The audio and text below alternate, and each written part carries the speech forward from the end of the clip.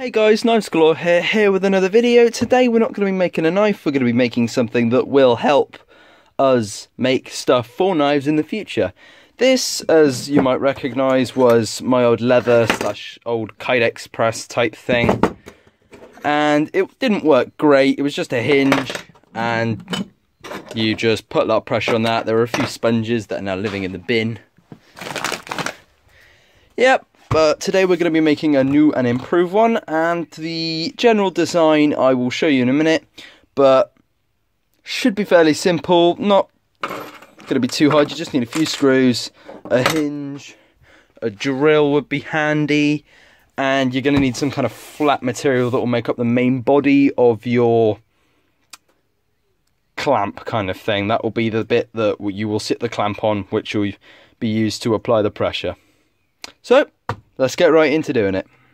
So the first thing to do is going to be to mark how long uh, the sheet material you're going to need. I'm just using some MDF that was an offcut from an old project many moons ago we did. And I've also got some high density foam here. It's actually memory foam, but uh, it is the same substance at the end of the day. And it's not that memory, you know, it comes back. And uh, the general thing I'm going to do, I'm just going to mark a little line here and I've got two pieces here roughly the same size. I just cut them out roughly with a knife. And that will be how long the press is going to be because that's the maximum I can it's the maximum uh, coverage I'm actually going to get with this. If I made it any longer it wouldn't actually be doing anything. So we're going to make it this long. I think that's a good idea. And it's also roughly how long a knife I'm going to make. Say if I was going to use that. I've got plenty of clearance if I want to take it back even further. I mean, the longest knife I've ever made was that Bowie knife, and it's the blade is about that long, I'd say. So we've still got a lot of clearance if we need to make any bigger knives in the future. So let's go straight ahead and start cutting. So I've squared off this just with a combination square wherever it's got to. Yep, just use that and a pencil. And then once I've cut it, I'm just going to translate it directly onto the next piece. Then we'll have two equal pieces that we can then start screwing together.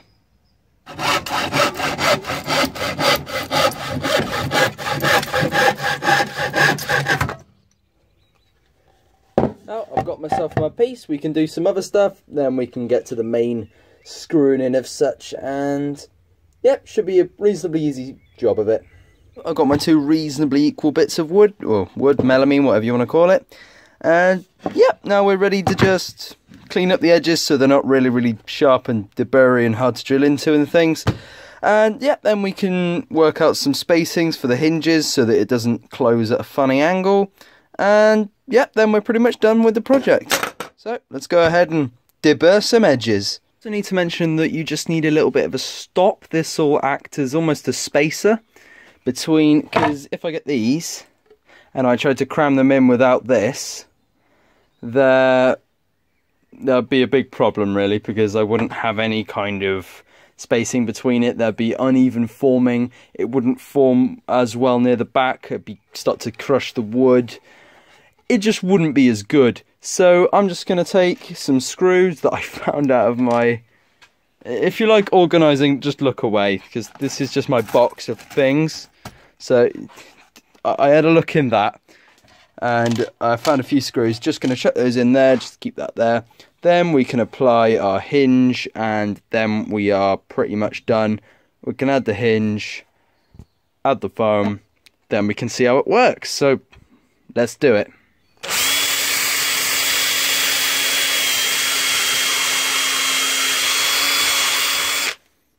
After doing everything I need to do, I've got myself this neat little system here. I've got two hinges. It'll open up. I can grab one of those, have that there. Have the other one there, sort of. And when they compress, they should compress pretty evenly, which is good. They haven't compressed super evenly because, well, I've set them up a little bit funny. But the general idea is here. This is the general premise. It's probably not the most efficient, probably not the best press you've ever seen ever, but it'll do the trick, so fair enough. And this is all I'm really trying to do here. Maybe I can be a little bit cheeky. No, no I can't. Uh, Yep, so this is generally it. I'm going to find some kind of way to secure these down, then we'll show off, see how it works and all that other kind of stuff. So after a little bit of grinding, I managed to make this. This is just a simple little neck knife, nice wooden handle, linseed oil, Scotch-Brited. It's a nice, nice finish actually. I really like the way it turned out. You can kind of see a reflection in it, which is nice. So we're going to be making a little sheath for this today, just because I needed to try this out and literally no knives I wanted to. I mean, I had this which I made the other day, but because it's a paracord wrap handle, they don't like any kind of hot plastic at all. It's kind of a leather only zone for paracord um, paracord wrapped handles, but because this one's wooden, we should be alright and we can just... My dog's barking at me. Dog, what do you need? Dog doesn't know what he needs. So we're just going to get ourselves a bit of PVC tubing if I can find any, and then we can begin the making processes for the PVC sheath. So I found myself a little bit of PVC tubing. I'm not entirely sure the diameter of it. I'll find out for the next clip. But uh, I've got it, and all I know is it fits. That fits in there, which is good. And I've got quite good retention spots on this knife if I just show you. I have this point here next to this little notch which I'm using as a sharpening notch. I could use that bit there or I could use this bit here or both but I am thinking that it's going to be too tight if I bring it up here so I'll probably leave the retention just to these areas here as I don't have any defined bevels that I could use or defined plunge lines that I could use for uh, high spot retention which is kind of the other way of it.